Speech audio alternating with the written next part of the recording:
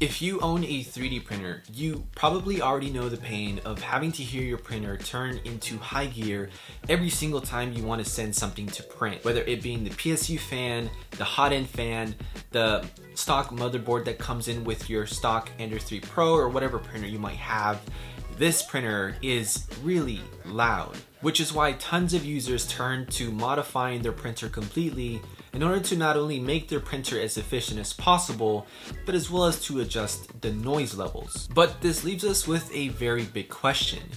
Why are 3D printers so loud and what exactly can you do to change that?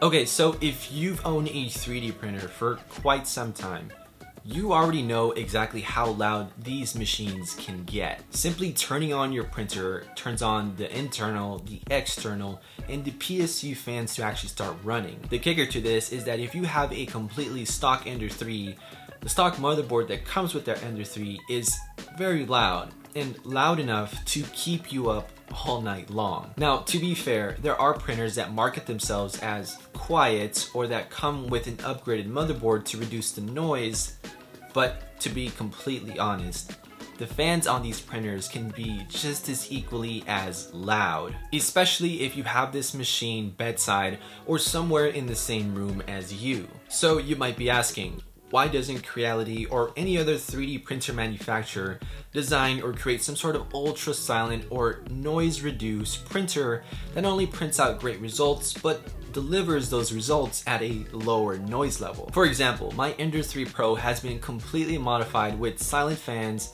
a silent PSU fan, and even has an upgraded motherboard so that while in operation, it produces little to no noise. Of course, some caveats to this is that I had to purchase these additional parts, and it required me to spend additional money on top of actually having to purchase the printer itself. In addition, I am pretty sure that there are many people that are willing to pay a premium for a printer that can deliver exceptional prints while having that noise level reduced. So if you want to send overnight prints or prints that take longer than 8 to 10 to 24 to 48 hours or even longer, then you can do that without having to hear your printer going on for endless amount of time. Of course, this sounds easier said than done. And I might have a few theories as to why companies have not done this just yet. The first thing is having to provide silent fans that provide the same, if not better airflow compared to the stock Ender 3 fan. For example, the fans I have installed on my Ender 3 don't have the same amount of airflow compared to the stock Ender 3 Pro.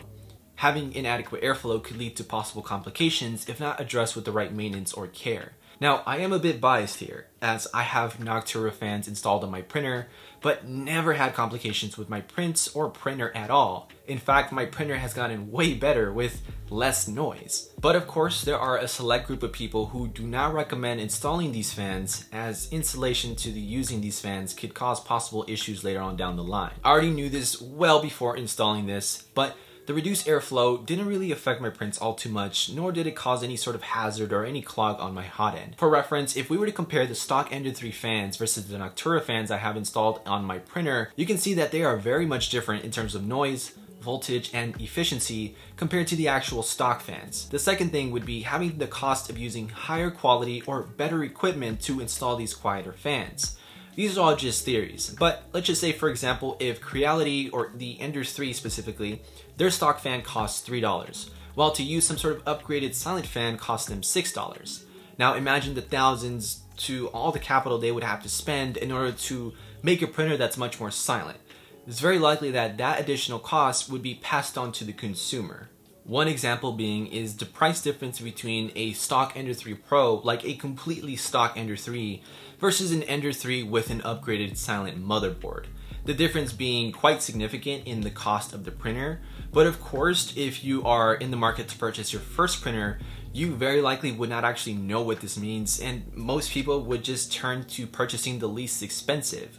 That's what I did. But of course, I do feel as if having noise levels at an adequate level or at a low level is kind of user preference, as if you plan to print in the same room or you plan to print somewhere nearby you, then of course this actually matters to you. But if you have some sort of select room where you can put your printer or somewhere else where you place it that doesn't actually affect you while it's printing, maybe like a basement or in a garage or something like that, then this probably wouldn't even make sense to upgrade the the silent fans or reduce the noise levels. Now, the third theory could be due to the installation of the parts itself.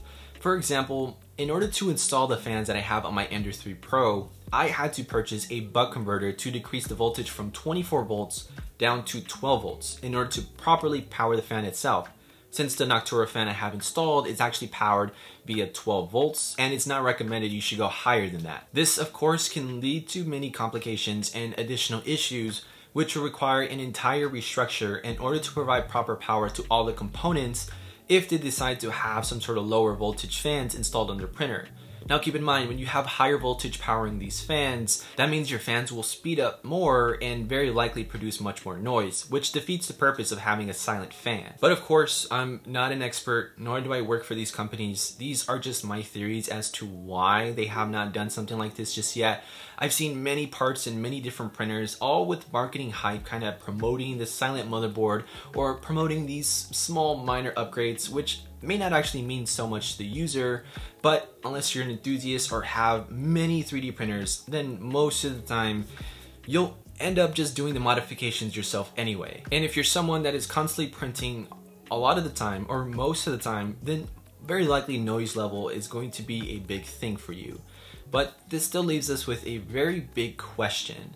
If companies are not willing to do this, can you actually do this yourself? Well, the answer is yes, you absolutely can. For example, my Ender 3 Pro that I have right here has been modified to the point where it is completely silent throughout the entire printing process.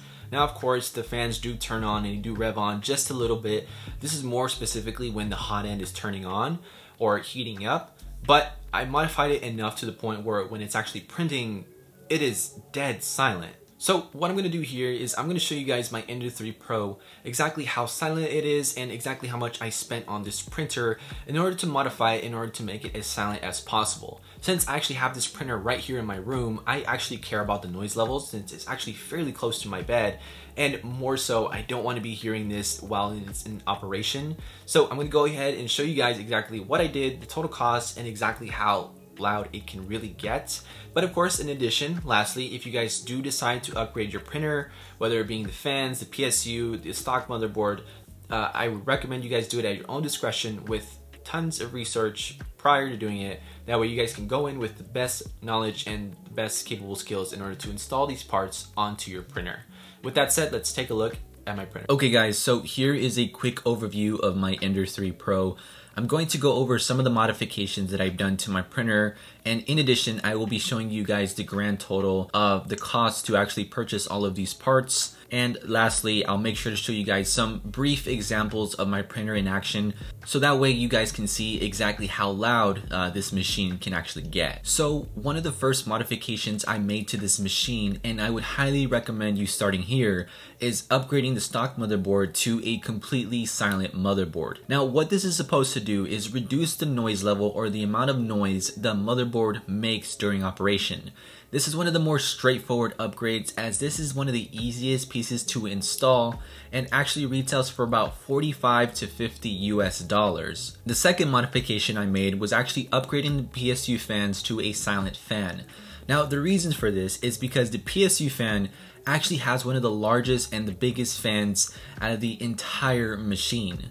This fan will occasionally kick on when the printer is in operation, and it is essentially there to keep the internal circuits cool uh, for the PSU part. Now, I changed the stock fan to a Noctua fan, and I 3D printed a part uh, in which the fan is actually held outside of the PSU unit instead of inside, but ideally what I wanted was this piece to be as virtually silent as possible as pretty loud and I was kind of getting irritated about how much noise it made. The third and fourth piece I changed was the hot end fan and as well as the internal fan for the silent motherboard. Now these two fans are grouped together and the reason for that is because they are the same size fans and they have virtually the same specs and you can actually purchase these fans for about 15 US dollars. So you'll actually need to purchase two of these fans and that'll be a total for about 30 US dollars. Now the fifth or the last two pieces required to make this project work, especially if you want to purchase the hot end and change the internal part, is actually having a buck converter and wiring to adjust the voltage. Now, the buck converter acts as a bridge in which it limits the voltage of the fans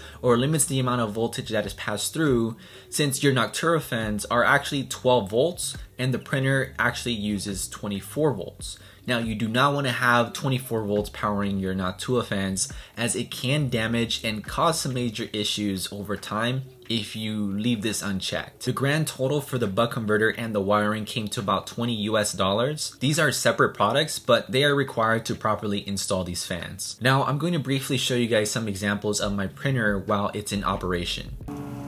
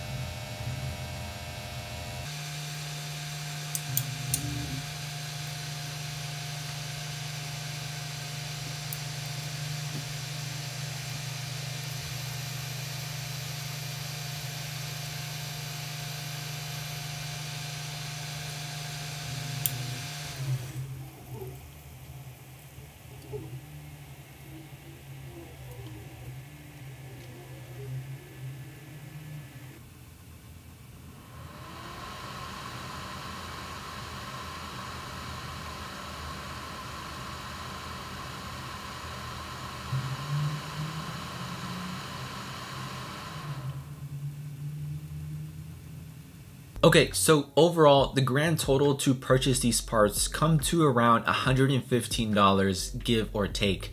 Now keep in mind you will have to install these parts and additionally you can purchase these parts on Amazon. I'll leave all the links down below in the description.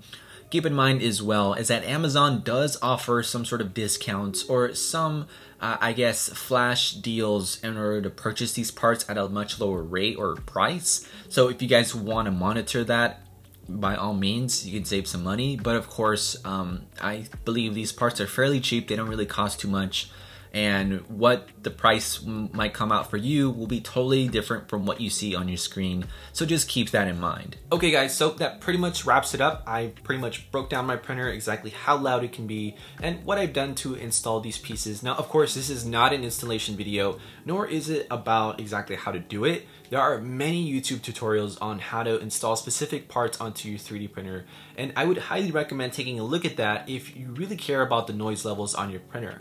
Of course, if you don't really care about that stuff or you rather not touch it or you're too scared to touch your printer, then just don't go ahead and do it. Of course, first of all, when I was uh, first getting started with modifying my printer, I was absolutely afraid of messing anything up or messing with the components or thinking that things were too fragile to move around or anything like that.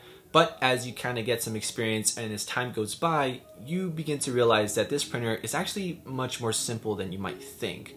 And more so, once you have that experience, it makes it easy and easier and it gives you more confidence to install uh, difficult pieces such as these fans and as well as changing the wiring and as well as modifying it so you can have the right modifications on your printer to deliver the results that you want for your prints. So with that said, I hope you guys had enjoyed this video. Let me know you guys' thoughts and opinions down below in the comment section. I'll also leave all the links of all the things that I purchased from my printer. Of course, it's not mandatory. You should do it at your own discretion and there are many videos online that show you how to do it. If you guys want to see exactly how I did it, uh, or you want to see a tutorial on exactly how to do it step by step, just let me know in the comment section down below. That way I can see whether or not you guys want to see something like that as it's a very intricate process to completely change certain parts of your printer, but I think it's absolutely rewarding, especially with the results that you see from your prints and from your printer itself. So with that said, let me know if you guys enjoyed this video. Let me know your thoughts and opinions down below in the comment section, and I'll see you guys in the next one. Peace.